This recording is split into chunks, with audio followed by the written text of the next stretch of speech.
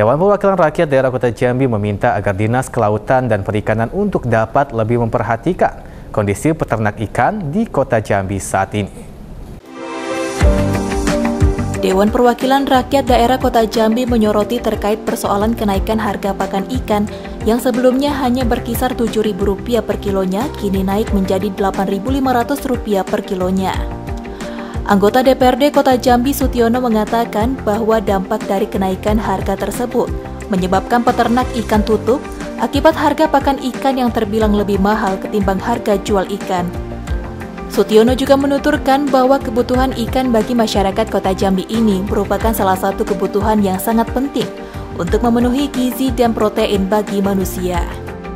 Ini harus diperhatikan, jangan kita berpacu kepada ikan lele saja.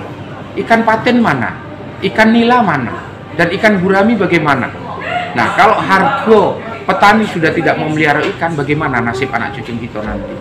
Ini pemerintah saya mengharapkan kepada pemerintah stakeholder OPD yang terkait tentang perikanan harap tolong diperhatikan masalah pakan ikan bila perlu di Provinsi Jambi ini dibuatlah pabrik pakan ikan atau pelet BUMN hidup harus hadir sehingga bisa memberi subsidi kepada petambak-petambak ikan budidaya air tawar.